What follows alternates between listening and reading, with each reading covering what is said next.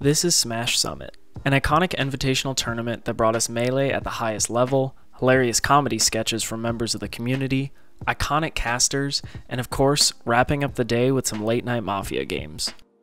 And while Summit was an exclusive event that only few could attend, BTS managed to make viewers at home feel like they were right there with the top players. And with their recent announcement of closing their doors, I wanted to take a moment to thank everyone at Beyond the Summit who helped Melee stay true to itself while also giving the scene the high quality production that it deserves. So let's head on back in time to Smash Summit 2, where Mang0 is facing off First Plup in Losers Quarterfinals. When it comes down to Game 5 last stock, Mang0 reminds us that sometimes the best melee is played when you're under a little bit of pressure. Crouch cancel against Sheiks. This is really good. Mango fans are sitting on the edge of their seat right now. I think so are Plup fans. Okay, Scar.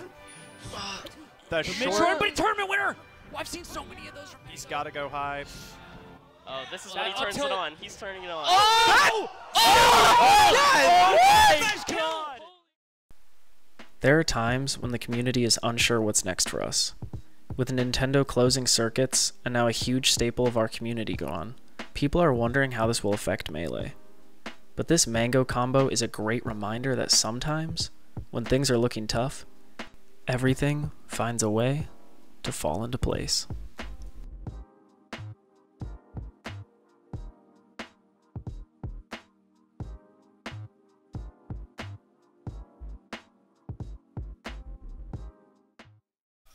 What magic crazy trick do you have that you are going to suddenly pull out that's going to be the big game changer? Mm-hmm.